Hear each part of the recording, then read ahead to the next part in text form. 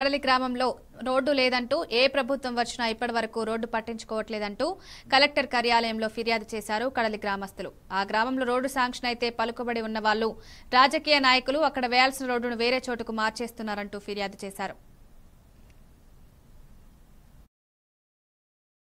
లేదంటే చాలా ఇబ్బందులు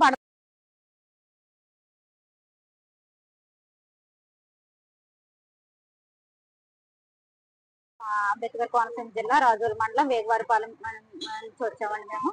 మాకు గత కొన్ని సంవత్సరాలుగా రోడ్డు అనేది మట్టి రోడ్డు తప్ప రోడ్డు అనేది లే- చాలా ఇబ్బందులు పడుతున్నాము. ఆ ఇబ్బందుల వల్ల కనీసం ఎవరికైనా ఏదైనా ప్రమాదాలు జరిగినా కూడా ఒకవేళ గర్భిణీ స్త్రీలు ఏదైనా డెలివరీ అయినా కూడా ఒక అంబులెన్స్ కానీ ఒక ఆటో కానీ వచ్చే విధానమే లేదండి అసలు. చాలా లోతులు అయిపోయి గుంటలు పడిపోయి చాలా విధానంగా ఉంది. దానికేమో మేము చాలా సార్లు పంచాయతీ దగ్గరికి ఎంపీడీఓ దగ్గరికి చాలా చోట్ల మేము చాలా ఆఫీసులు తిరిగి తిరిగి తిరిగి చెప్పులు అరిగిపోయేలా తిరిగాను తప్పితే మాకు న్యాయం చేసింది అయితే ఏమీ లేదు.